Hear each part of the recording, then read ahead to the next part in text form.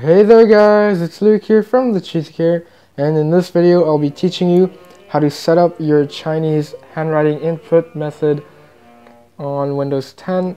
So it's kind of weird on Windows 10 but it's also very simple to do so I hope you enjoy this short tutorial.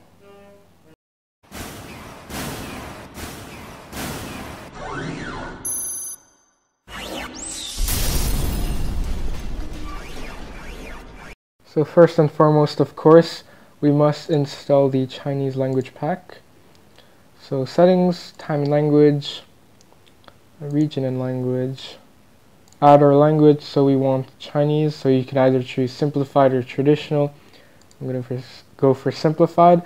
And then this one, you can choose either one, it's fine. So our language pack is installed.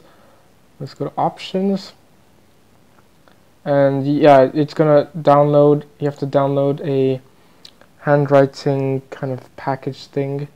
So I'll be back when it's finished downloading then I'll show you how to actually uh, get it working. So once it's installed you'll see this. And it's only like a 3 megabyte download so it'll be pretty quick. And what you want to get is this keyboard icon. So you would right click on the taskbar and you just have to check show key touch keyboard button. So here it's gone. Now it's back here. So you click this.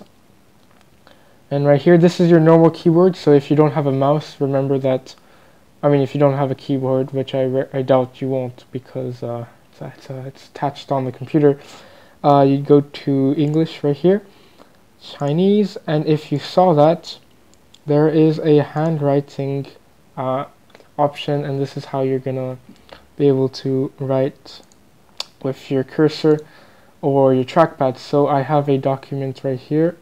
So it's it's in Chinese mode right here if you can see. I'm sorry if it's kind of small. Touch keyboard again. Change it to this. And if you want to write hello ni hao you can just write it with your mouse. Uh, here we go. And as you can see it, there's a bunch of already prepared characters here if you don't you're kind of lazy. And you want to type and as you can see if my camera focuses there oh god. Yeah I, no. No. Camera ah you stupid come on. Well uh, whatever. So as you can see you you could see for a brief moment you can type in Chinese and why is it so out of focus? There we go. So you can see right there. And basically, yeah, you can do whatever you want. So if there's a very complicated word, you can write it out, whatever you want. And that's pretty much it. It's very simple. Uh, I mean, you, you, it's kind of hard to figure out yourself.